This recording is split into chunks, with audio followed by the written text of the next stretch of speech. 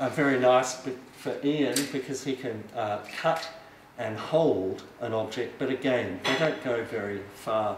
So if you can go this far, you don't want to spend money on a, a that fulcrum when you can find a, a ropes, a, a, a throw rope that will allow you to maybe pull that down within arm's reach or break off and uh, cut off. Okay, so let's head off outside, but we'll, uh, I'll ask for some help if I can, just in case to cover some bases. Thanks, Ellis. I will take just to be on the safe side some first aid gear. I'll take the smelly gloves. Oh, that, I found these from last year, uh, from last February when I was out with the externals. It was still on the track at Point Lookout.